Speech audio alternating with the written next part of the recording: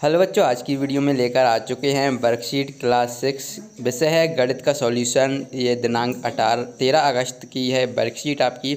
आज का जो हमारा टॉपिक है, वह है पार्ट अठारह। अध्याय एक से लिया गया है अपनी संख्याओं की जानकारी। तो चलिए वीडियो को स्टार्ट करते हैं। पहला क्वेश्चन है, निम्न संख्याओं को निकटतम धाई तथा सन्निकट लिखना है। ठीक है धाई तक सन्निकट करना है अपन को। तो पहला है ऑप्शन अट्ठाईस, दूसरा ऑप्शन है बावन और तीसरा ऑप्शन है दो सौ पंद्रह। चलिए इसका आंसर देख लेते हैं। तो अट्ठाईस का करेंगे तो ये सन्निकट निकटतम तीस आ जाएगा। बावन का करेंगे निकटतम सन्निकट पचास आ जाएगा। दो सौ पंद्रह का निकटतम दो सौ बीस। इस प्रकार से आपका पहला क्वेश्चन कंप्लीट होता है। इसके बाद प्रश्न क्रमांक दो देखिए। निम्न संख्याओं को निकटतम सैकड़े तथा सन्निकट कीजिए।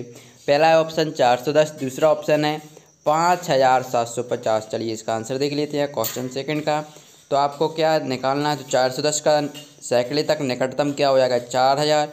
और पाँच हज़ार सात सौ पचास का हो जाएगा पाँच हज़ार आठ सौ। ये प्रश्न क्रमांक दो का उत्तर हो जाएगा। अब प्रश्न क्रमांक तीन देख लीजिए। निम्न संख्याओं को निकटतम हज़ार तक सन्निकट कीजिए। अब हमें हज़ार तक चलना है तो प्रश्न क्रमांक तीन देख लेते हैं।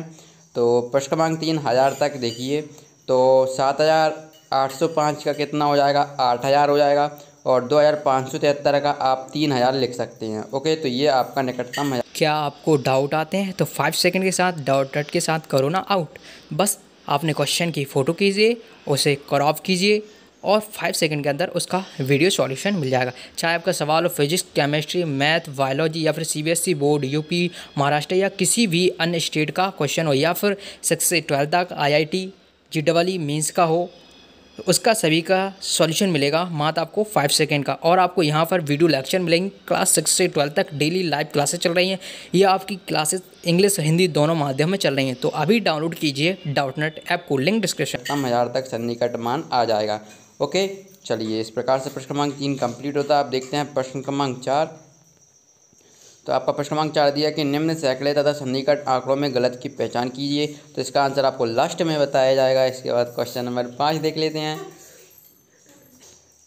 क्वेश्चन पाँच देख लीजिए। संख्या पाँच हज़ार चार सौ पंचानवे तथा पाँच हज़ार पाँच सौ पाँच के निकटतम हज़ार तक सन्निकट मान हमको निकालना है। तो चलिए देख लेते हैं। तो इसका लास्ट क्वेश्चन का आंसर भी हम यहाँ पर देख लेते हैं।